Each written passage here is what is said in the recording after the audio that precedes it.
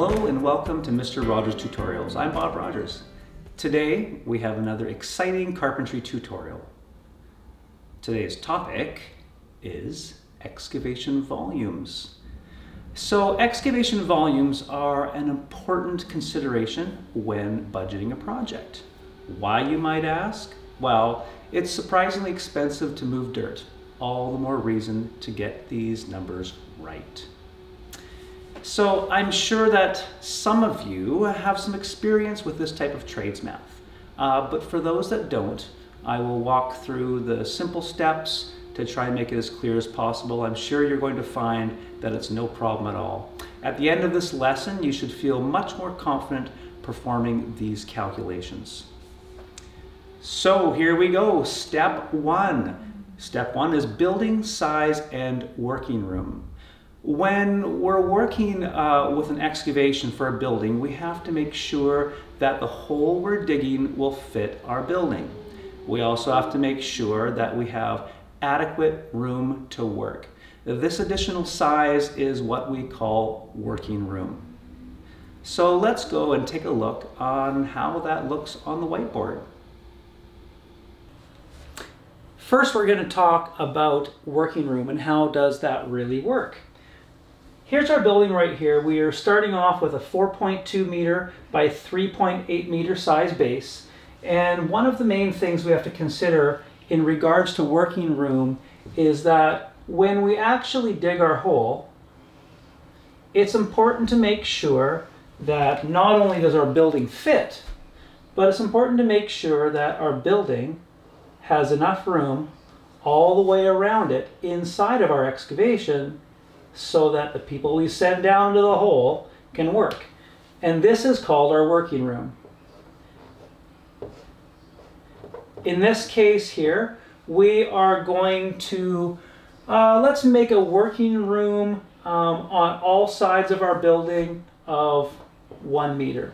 So we have a one meter working room on each side of our building in our excavation.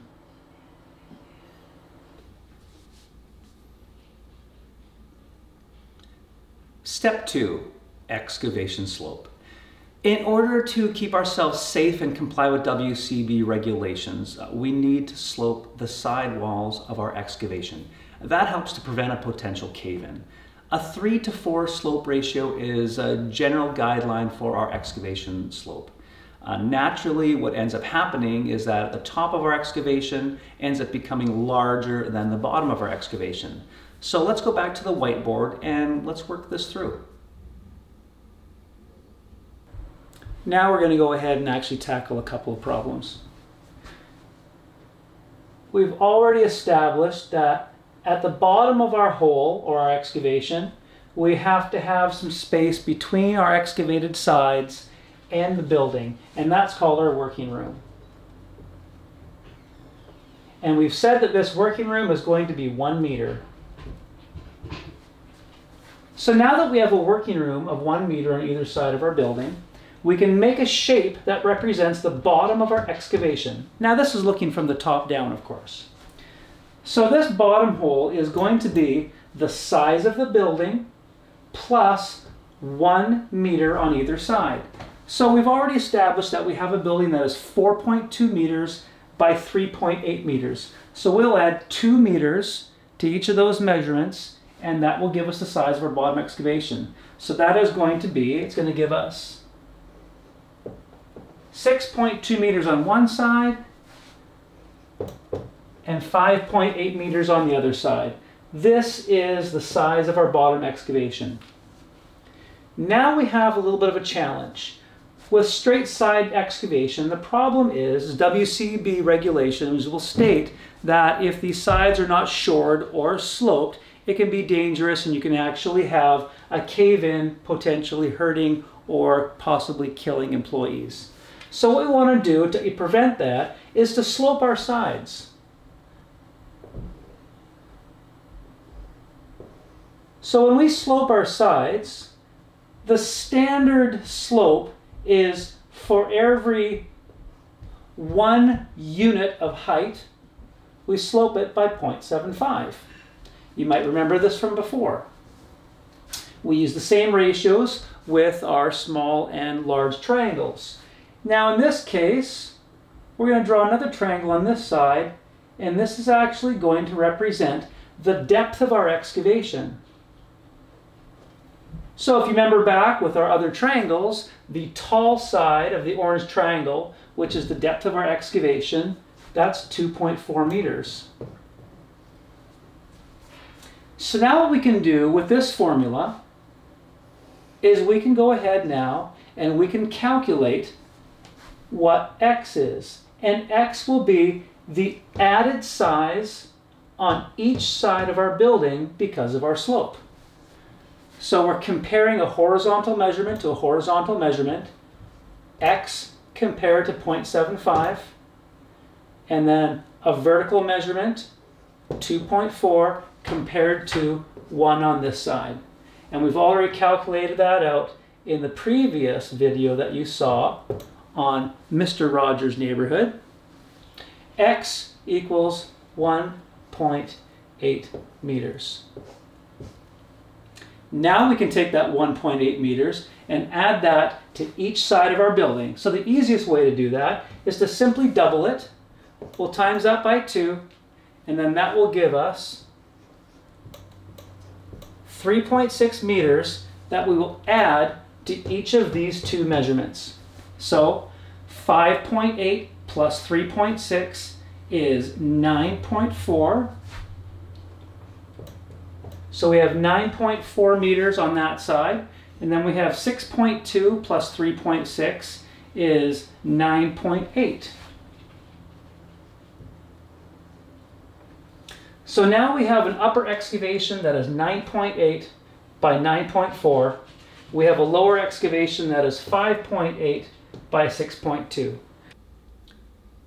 Step number three, our average excavation. Now that we have worked our way through our slope of excavation and how that affects our upper excavation, we have to determine the average between the top of our excavation and the bottom of our excavation. Um, you're going to find that this math is actually pretty simple, so we're going to go ahead and work in step, uh, step four before we go back to the whiteboard. Step four is our excavation volume and bulking factor. Once we've determined our excavated volume, we have to apply one more simple calculation.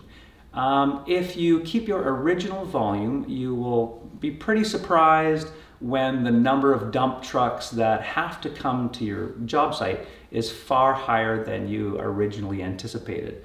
Uh, these additional trucks mean additional costs, and if these costs aren't quite worked into your estimate, they'll end up coming out of your pocket. So it's pretty good reason to try and get these numbers bang on. Now all we have to do is we're going to figure out the square meters, the size of our upper excavation, the size of our lower excavation, and then we'll add those together and we'll get the average of both of those numbers, which is actually pretty easy. So 9.8 times 9.4 is 92.12 square meters. And 6.2 times 5.8 is 35.96 square meters. Now we simply add these two numbers together and we divide by 2. That's how we find averages. We simply take whatever numbers we're adding together to find an average with and we divide it by the amount of numbers that we've added together. In this case, two numbers. So 92.12 plus 35.96 is 128.08 square meters.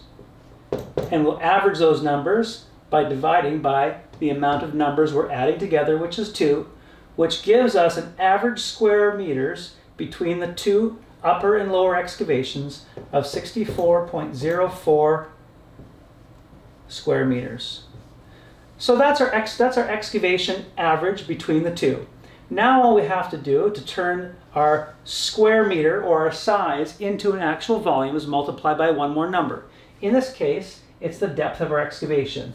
So 64.04 multiplied by 2.4, the depth of our excavation, gives us a total volume of, for our excavation of 153.7 cubic meters. Okay, just one more pretty easy step. Now we have to figure out if we have 153.7 cubic meters of dirt, we can't keep it on the job site, so we have to calculate how many trucks we have to order in order to get our dirt off site. So in this case here, our trucks have 12.2 cubic meters, that's how much each truck will carry, and we have a bulking factor of 15%. Now, a bulking factor is just simply when you dig up dirt, it kind of gets all fluffy. Have you ever dug a hole in your backyard and put all that dirt back in and there's a big hump afterwards? Well, that's called bulking factor. So what we do is we take our excavation volume, we're going to multiply that by 1.15, and that will give us our total excavated volume, including our bulking factor. And that'll be 176.76 cubic meters. Now we simply take 176.76 cubic meters, which includes our 15% bulking factor, and we divide that by the amount of material that we can get in each truck. In this case, it's 12.2 cubic meters. 176.76 divided by 12.2 is 14.488 trucks. Of course, we can't have a part of truck show up, so we always round up to 15 trucks. It's just as easy as that. Thank you for taking the time to watch another exciting tutorial by me, Mr. Rogers. Feel free to visit us anytime at www.mrrogersneighborhood.tech for more instruction in construction. Have a great day.